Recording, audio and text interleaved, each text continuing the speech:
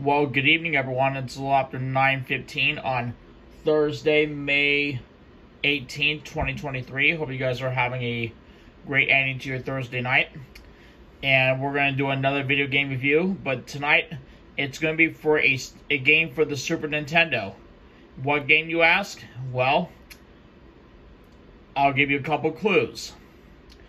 It's based on the show, the game show that I prefer watching on Nickelodeon during during during my childhood.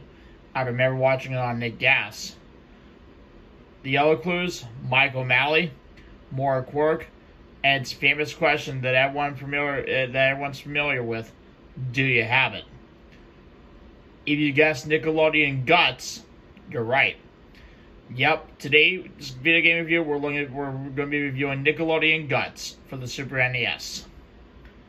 It's Viacom Multimedia, and it's based on the hit show that uh, ran for about three or four years on Nickelodeon, which included the Global Guts series, which was Nickelodeon's World Championship for kids. I know, and you, by the way, you can actually watch all the episodes of Nickelodeon Guts and Global Guts on Paramount Plus.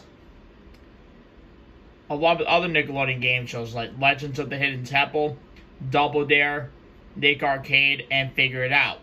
But this is Nickelodeon. But this is Nickelodeon Guts we're talking about. Again, Nickelodeon Guts with the Super Nintendo is based on the hit game show that ran for three seasons on Nickelodeon, along with the Global Guts competition.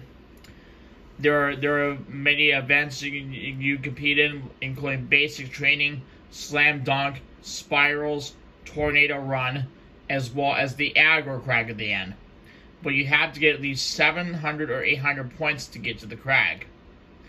There are, there are about eight about eight character phases. You can put whatever name you want for your character, and it takes you right to the first event, which is where it can be either spirals or slam dunk. And then the second and fourth event, it could be either the it could be either basic training as the second event or a tornado run as the second event. Same with the fourth event, it could be either tornado run or basic training. Moira Quirk is your referee for this game, and and for this game there was no sign of Mike O'Malley. But you have to get through all the events, all the events. It's a two, it's a two-player game, so one or two players can play again either by themselves or against each other. And and if you get, as you say, you get to like 700 to 800 points after the four events, then that's where you'll get into the Aggro Crag event, which is the final event of the game. So uh, this is a great game. If you have a Super Nintendo, if you like all the game shows on Nickelodeon, and if you don't have Nickelodeon Guts for the Super Nintendo, please get the co- please get your own copy of Nickelodeon Guts while you can. Terrific game.